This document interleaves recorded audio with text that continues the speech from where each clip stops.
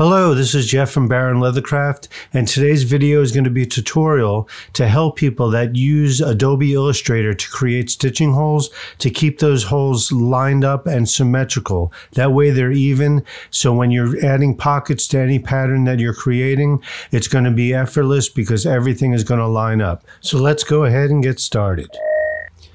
There's a pitfall that a lot of people run into when they create stitching holes in Adobe Illustrator, and the problem comes when you start rounding off the corners of an object. Let me give you an example. Here's an object I created here with stitching lines. It's the corners are rounded and as I zoom up you see I placed a guideline. Now look at this stitching hole in comparison to the one on the other side. They're not matching at all. One is above the line and one is below the line. For this reason when you go to add a pocket it's not going to come out correctly when you go to stitch it. It's going to look uneven. It's not going to fit properly.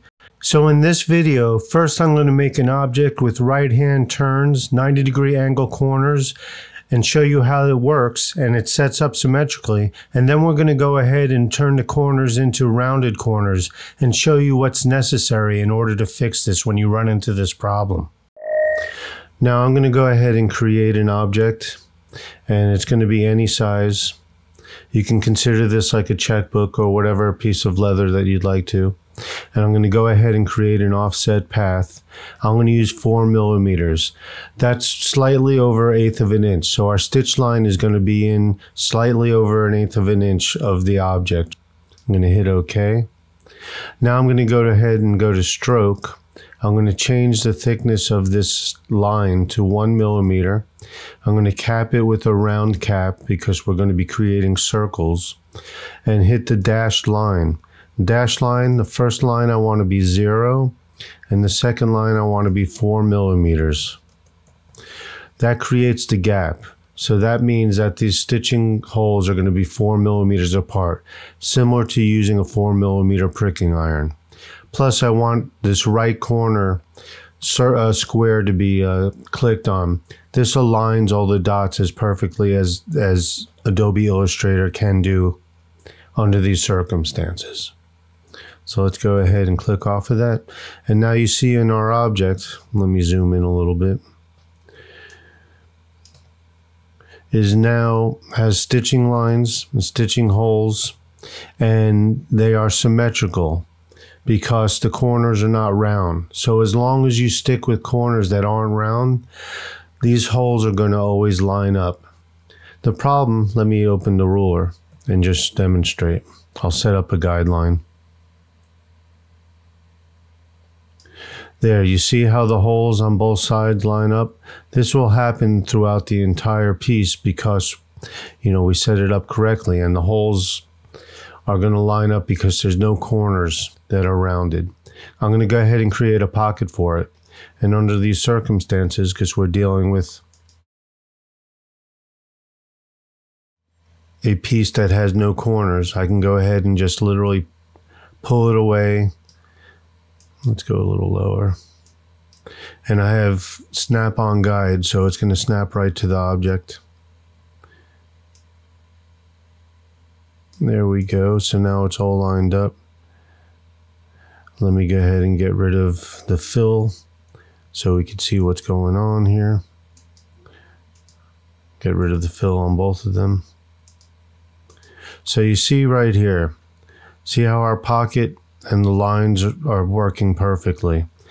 The problem is once you start adding curved lines, these lines are no longer going to be symmetrical, but there is a way to fix it. And that's basically what this video is about.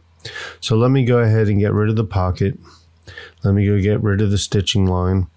Let me zoom in a little bit so you could see better. And now I'm going to go ahead and alter the corners by pulling in on these slots. I know a lot of my leather crafting has rounded corners and most likely yours does too. So now we have rounded corners.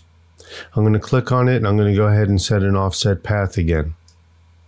Four millimeters, negative four millimeters once again to bring the stitching line in by about slightly over an eighth of an inch. I'm going to hit OK. Then I'm going to go to stroke and I'm going to go and change it to one millimeter thickness I'm going to round the cap and once again hit dash lines. Zero in the first one, we want four millimeter gap between holes like a four millimeter pricking iron. And of course we want the box on the right to line it up as well as it can. Now you will see that these these circles are no longer symmetrical. Bring one right there. Now you see how I'm going to bring it up zoom in even closer. You see how this line ended up on this dot perfectly, but look at the difference. So when you when you went to add a pocket, the pocket's going to be straight, but it's not going to land on the uh, original object correctly. The stitching lines are going to be off, and it'll be noticeable, and you don't want to work that way anyway. So let me show you how to fix that. Let's get rid of this guideline. All right, first I want to go ahead and select both objects. And then I want to align them to the center of the artboard. Here under the section of align, you have three options, align to selection, align to key object, or align to artboard. I want to align to artboard, and I want to align it vertically and horizontally. So I'm going to hit the horizontal align button, and I'm also going to hit the vertical align button. There. Now let's get a better look. Now you can see now that the artwork is centered right in the middle. All right, now we have our artwork centered. And I want to go ahead and create a guideline and center that as well. So I'm going to pull down the center line and click the vertical align center. And if you want, you could actually go ahead and do it from the vertical as well and go ahead and click on the horizontal align center. So now we see it's cut up in four pieces. Okay, now I'm going to go ahead and change the stitching path that we created and get rid of the dashed lines because I just wanted to show you how they weren't symmetrical. Now that we're back to just a solid line, I want you to grab your cutting tool, which is your scissors, and go ahead to each of these two intersections. Right there, cut there, and cut there. Now we have two separate pieces. You see how I can I could uh, select the bottom or I could select the top.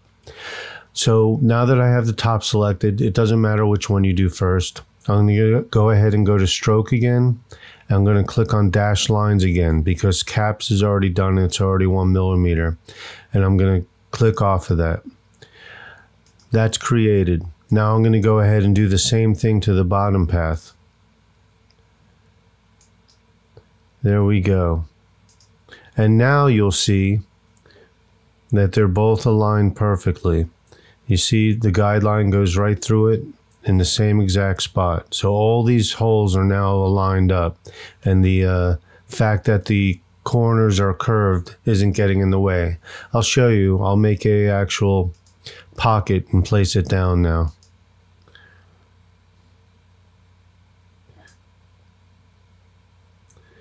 I'm using uh, Snap 2 smart guides. That's why it's really easy to be able to do that, to create the proper size really quickly. I want to click on select tool again because I want to select this outer object because I want to see what size it actually is as far as the curves are concerned. So I went up to shape and I can see the curves right here, 12.704. I'm going to go ahead and copy that. I'm going to apply it to our other shape, the pocket, and click on shape again. You notice they're all zero here, so I'm going to go ahead and paste it in there. It's, if you see, it changed all the pocket sizes, curves, so I want to get rid of the ones in the front. So I'm going to grab those circles and drag out. There we go. Now we have our pocket. And I'm going to go ahead and align it. I'm also going to get rid of the fill so you can see through it. There you go. Let me go ahead and zoom in. You see how it landed in the proper spots? That'll do that everywhere on here, but I'm going to go ahead and stretch it just to show you that it fits perfectly anywhere you make the size of this pocket.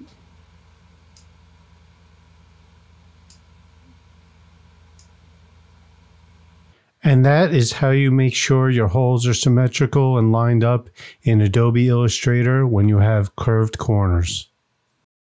Thank you very much for watching this video. I hope it solved the problem that you were having. I know this is not an uncommon problem and I struggled to find a resolution to it and I was happy when I did. So thank you very much. I hope you enjoyed it.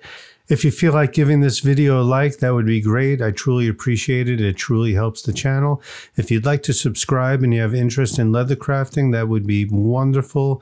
I also do laser engraving and information on laser craft. So thank you very much once again and have a great day.